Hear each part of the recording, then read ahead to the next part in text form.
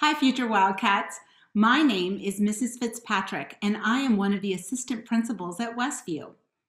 I'm here to tell you about Access Tutorial. All freshmen at Westview have Access Tutorial in their schedules. This eighth class allows you to get help from all of your teachers in your classes. It is a time set aside at the end of our B days, eighth period, that you can get help in a homeroom setting with your friends or you can get help from any of the teachers that you have.